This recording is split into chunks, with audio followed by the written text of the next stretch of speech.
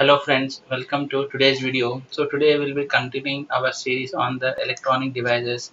So this is the third video on this topic and this is the final video. So in the previous video we have seen the formation of PN junction diode and then we studied how these diodes are useful under the forward bias as well as under the reverse bias where Zener diode is a special case of was the special case of the PN junction diode and was used as a voltage regulator. So all these previous devices were using the voltage. They were excited by the voltage. I mean when the ex external voltage are applied then these were conducting and they were used. But now we are moving ahead to another category of semiconductor devices which are optoelectronic junction devices. So these devices are in, in these devices the carriers that is electrons and holes are generated by the photons and this process is known as a photo excitation. So starting with the first diode which is a photodiode. You know photodiode is a special category of diode which is used to detect the optical signal. Optical signal is nothing but the light. So how this formation of the diode is you know as I said this is a special purpose junction diode fabricated with a transparent window to allow light to fall on the diode so this diode is there this PN junction diode is there. So in between here a transparent window will be there. So in this window when the light falls on this windows is falling on this junction. When the light is falling on the junction some of the charge carriers are being produced and the current will be experienced in the load. So the current flow is because of this photons that are falling on this junction so that is why these are called as op so that is why these are called as optoelectronic junction devices. So initially what happens is these are operated under reverse bias. So external voltage is applied but then this voltage will just create this junction and then charge carriers will be there.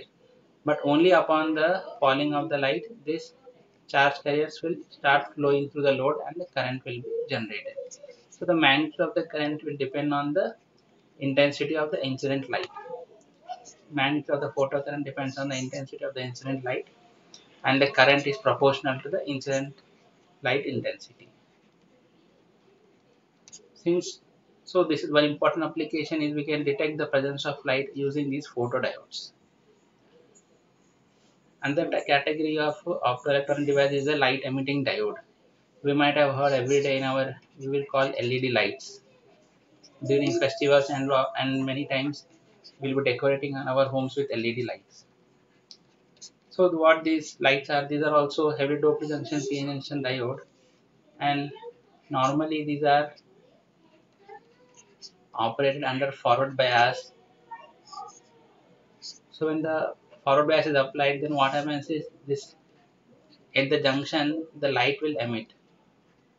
So the diodes are manufactured such that when the voltage is given the light is generated. So that is how they are manufactured. So in this case like the photodiode there will be a transparent window and through this window light will be emitting out. So the diode is encapsulated with a transparent cover so that emitted light can come out. This is important. So the forward current of the diode is small the intensity of the light emitted is small. So depending on the current that is flowing in the diode the light intensity will vary so depending on the current, the color of the diode, the light of the the color of the light that is emitted will vary. So the threshold voltage, as I've said, in between the threshold voltage will be there because of the depletion region. So the threshold voltages are higher and they vary each with different color. So this manufacture, this manufacturing of this PN junction diode for LED will depend on the color which they will emit, and depending on the colors, they doping will be varying. Some of the advantages of LED diodes are, you know, over the conventional lights is the operational voltage is very less and they consume very less power. Fast action and no warm up time required means immediately once you switch on, the LED will start to glow. The bandwidth of the light is this one and it is monochromatic, long life, fast switch on, switch off capabilities. So these are some of the advantages of the LED diodes. So moving to other type of diodes, uh, which is a photo voltaic devices, these converts optical radiation into electricity. This is another category of the special junction special PN junction diodes. So you know these solar cells is basically a PN junction which generates the EMF when solar radiation falls on the PN junction. So here solar radiation used. The solar radiation falls, what happens? Small EMF. EMF is a small voltage which will be generated. So this actually works on a similar principle like photovoltaic effect as a diode except that the no external bias is applied. You know in the previously we have seen in this photodiode external bias external voltage was given whereas in the case of the photovoltaic there is no external connection that is given. So that is an important difference we have to note.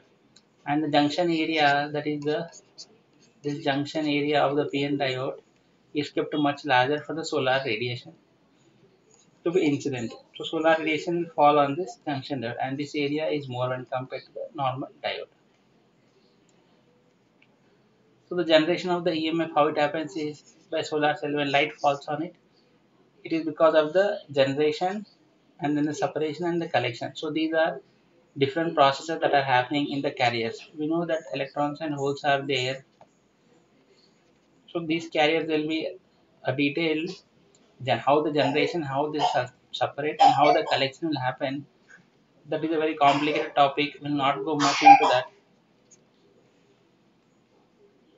So what happens in the solar when the light is falling, the P side becomes positive, N side becomes negative, giving rise to the photo voltage.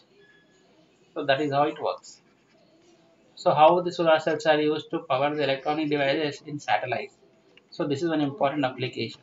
These solar cells are used to use in satellites and in the satellite electronic devices are being powered by solar cells. Since in satellites sun will be there and the sunlight will be falling, so these are important source of energy. So that is why solar cells are used in satellites. So this is the basic construction of the PN junction solar cell. Next is moving with the next topic which is the digital electronics and logical gates. You know normally you might have heard about amplifiers, analog amplifiers. So normally any signal which is continuous is comes under the category of analog signal. Whereas digital signal in, in, is one in which there are only two or two vary two levels are varying and they are continuously changing.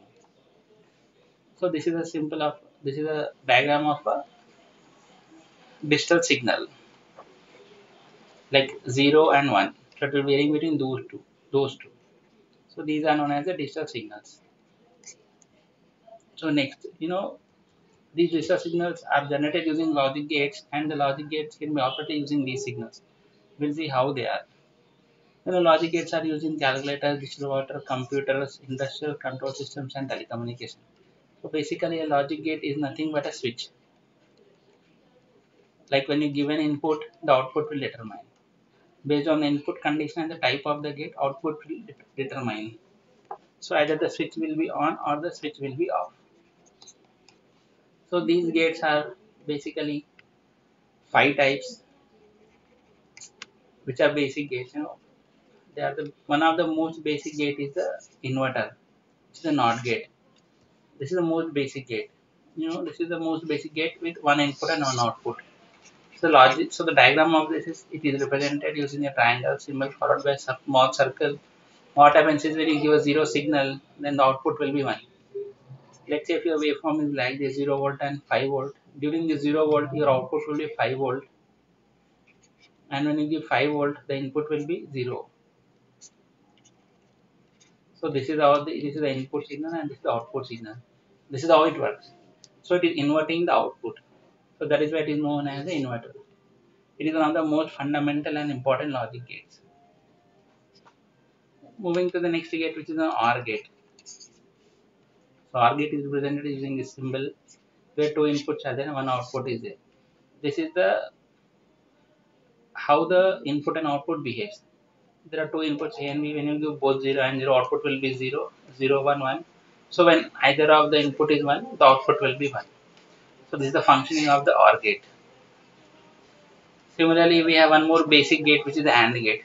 So it is represented by using AND like a D and two inputs and one output. So in this when both the inputs are 1 only then the output is 1. Even if one of them is 0 the output is 0. This is also one of the important basic gates. We just remember the logical, the input output characteristics and how it is represented. That is sufficient. Next is till now we have discussed the basic gates which are, which were NOT gate, AND gate and OR gate. Now we will be moving ahead to universal gates. There are two gates which, are NAND and NOR gate. So we'll see how, what are universal gates. So these are the basic gates. Now these NAND and NOR are universal gates. Why these are called universal is because using these two gates we can generate any of these.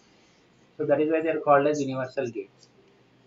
So how these behave is, so the how they are represented are like this. It is followed by NAND. NAND means AND and a NOT. AND and followed by a NOT. So this is the how they are represented. Next, in shortcut they are shown like this, an AND gate. A, B and C. So logical diagram you can derive.